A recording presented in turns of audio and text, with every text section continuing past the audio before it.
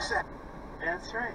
And so you couldn't, you could, if you're on a train, you couldn't go to the dining car. If you're on the road, you couldn't stop at a at a restaurant because they wouldn't serve you. So the family would put together fried chicken, hmm Picnic and you know whatever, you Yeah. know, yeah, because it didn't spoil. And and folks would put their like college kids would be going off to school, hmm right? Pack them along. Pack them a lunch, and and they pack, a, and that's why it became a staple. That's right. And and that- that's that's the sort of all right. Fifty three, two minutes left. I'm sorry.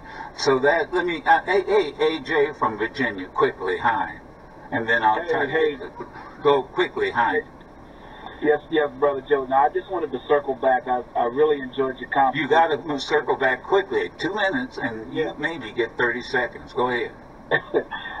we white folk in this country have a remedial understanding of history, and until we face the truth of it, we're still gonna be serving fried chicken and watermelon at IKEA. Now that's all I wanted to say.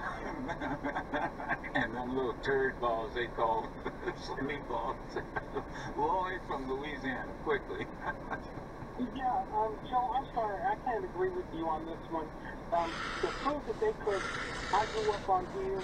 I embrace that. I, I think that it's a shame they do Thank you very much, man. black on the planning committee. However, that's what my family eats.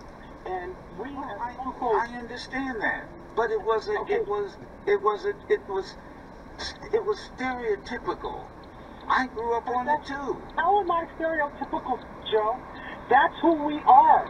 Every black person I know cooks fried chicken. Every wait, we're not supposed to eat watermelon anymore because it's a stereotypical black food. It, What's de- it, de- it black food? depends. No, no, it, de- the it- food that's Lloyd, listen. It it depends on the intent. Yes. And so if it was if it was innocently intended, why on earth didn't you consult black people? Thank you. Would you quick c- cook Hawaiian food with all Hawaiians around you and you aren't? Oh no, no. Here, hey, hey, Louisiana, Lloyd. You think I would cook gumbo and not ask somebody from New Orleans how to do it? Shut up.